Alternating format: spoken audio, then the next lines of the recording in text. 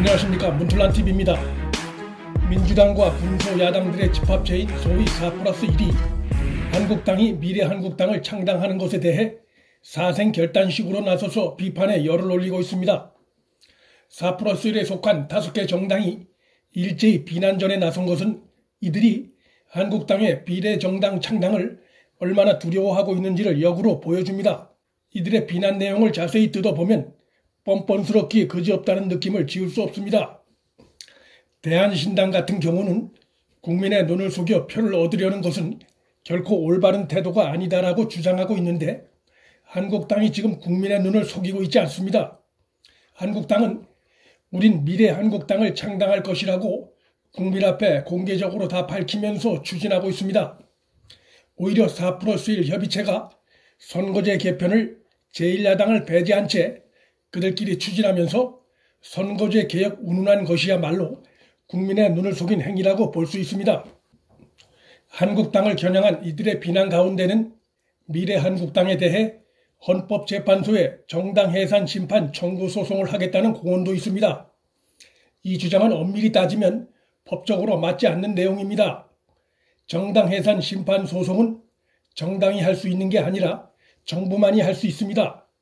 물론 국민이 정부의 정당 해산 심판을 청원할 수 있고 그 경우 정부가 청원 들어온 내용을 따져보고 헌법재판소에 청구하는 방법은 있습니다. 그러나 그 경우도 법정에서 원고는 정부가 하는 것이지 정당이 원고가 될 수는 없습니다. 그러나 정부가 한국당이 창당을 추진하고 있는 미래 한국당에 대해 정당 해산 심판을 청구할 가능성은 매우 낮다고 봅니다. 그 이유는 첫째, 문재인 정부가 실제로 정당 해산 심판을 청구한다면 자신들의 정치적 목적을 위해 정당 해산 심판 제도 본래 취지를 왜곡해 남용, 오용했다는 비판에서 자유로울 수 없고 무엇보다도 통진당 해산에 반대했던 문재인이 제1야당 탄압에 직접 나섰다는 그 이중성만 부각될 뿐입니다. 정당 해산 심판제도 본래 취지를 왜곡한다는 의미는 잠시 후에 살펴봅니다. 둘째, 지금 정당 해산 심판을 얘기하는 측은 주로 대한신당이고 정의당도 헌법과 정당법을 들먹이는 것으로 봐서 그 대열에 합류할 가능성이 있지만 나머지 민주당이나 그 밖의 군소 정당들은 아직 거기까지 나가지 않고 있습니다. 이들의 이런 행동이 미래 한국당 창당이 정당 해산 심판 대상이 아니라고 판단해서인지 아니면 민주당 역시 비례정당 창당을 고민하고 있어서인지는 확실치 않습니다. 셋째 가장 중요한 이유는 미래한국당 창당은 정당 해산 심판의 대상이 될 수 없고 또한 그러한 소송은 정치적 실익도 없다는 점입니다.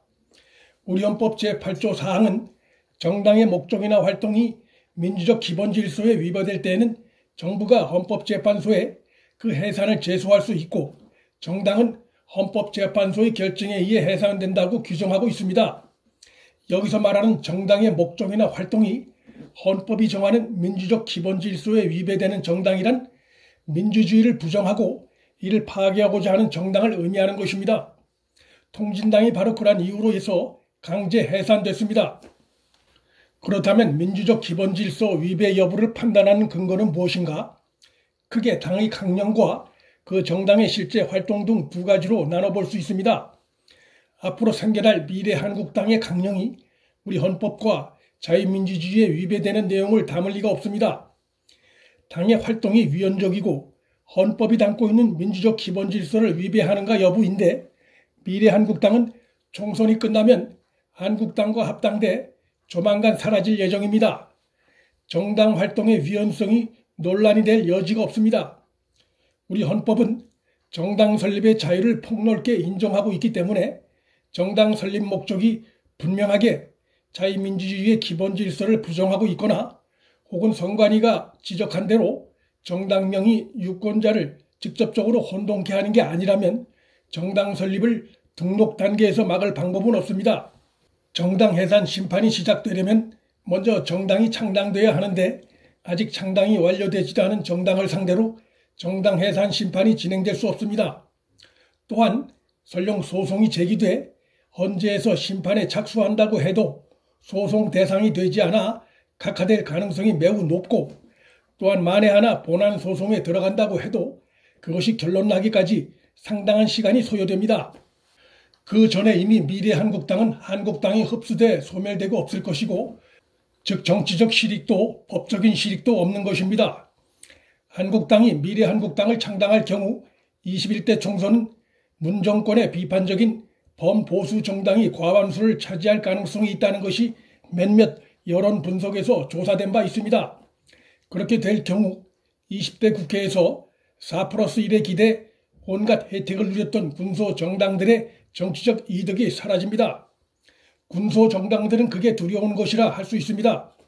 물론 민주당이 이들 군소 정당의 사탕을 조금씩 나눠주고 자기들 입맛에 맞게 법과 제도를 뜯어고치는 행태에도 제동이 걸립니다. 또한 그렇게 되면 민주당은 한국당 등 범보수 정당과 국회 협의를 해나갈 수밖에 없습니다.